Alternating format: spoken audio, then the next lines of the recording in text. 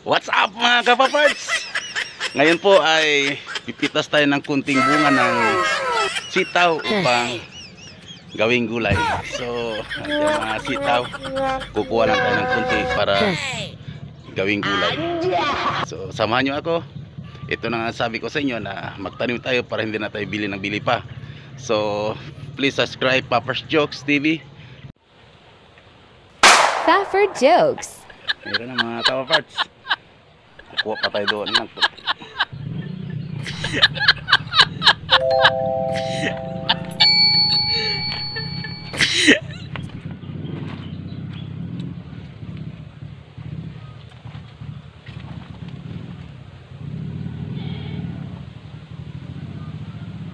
Sayang kasi mga kapaparts pag hindi natin to pitasin.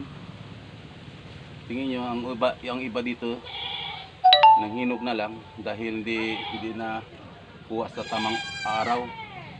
Kaya dapat natin to i-harvest para hindi naman sila mahinog. Ayan.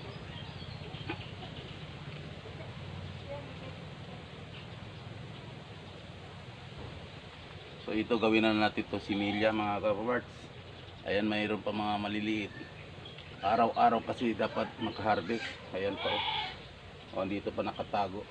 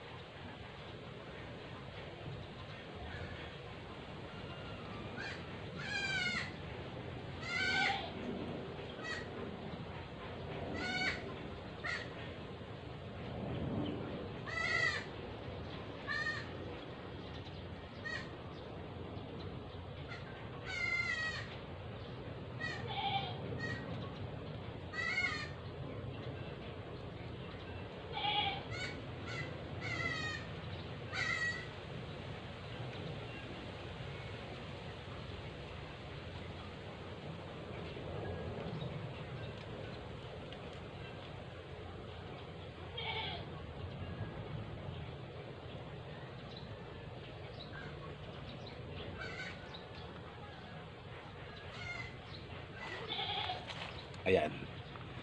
So, mayroon pa doon banda. So, ayan. Mga kapaparts. Diba? Ang haba.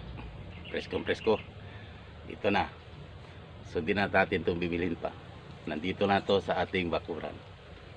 So, haharvest pa ko ng konti doon kasi pag hindi natin kunin yon bukas yon maging ganito na yung hinog na.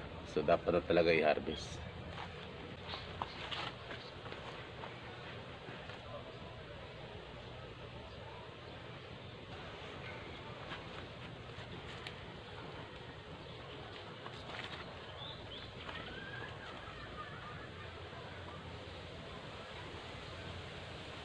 Meron pa nga dito hinog na rin oh.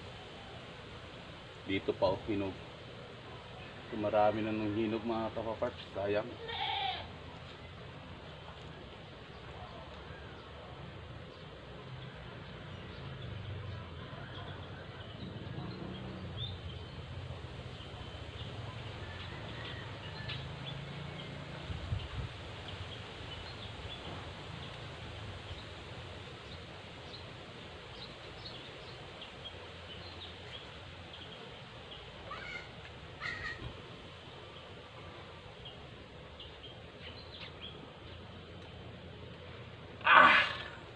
Mahirap na sa taas talaga. So, ito na. Ah. Meron, meron pa dito.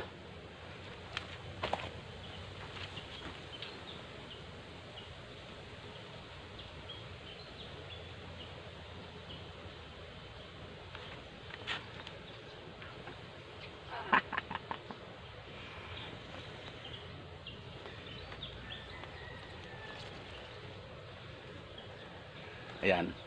Ito po ang nakuha natin ngayon, mga kapawards.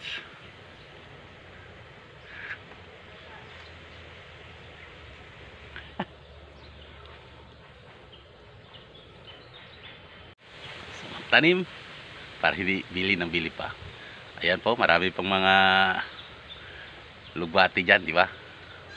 May mga mustasa din dyan. Ayan.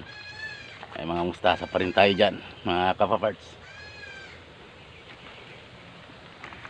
So, sa susunod, mustasa na naman i-harvest natin. So, sa nakita po natin. Ayan. Diba? ah.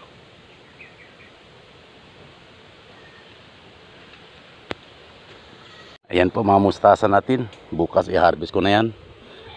Kasi super laki na nila. Hindi na kayang kakainin lang. Siguro ibenta ko na ito mga kapaparts.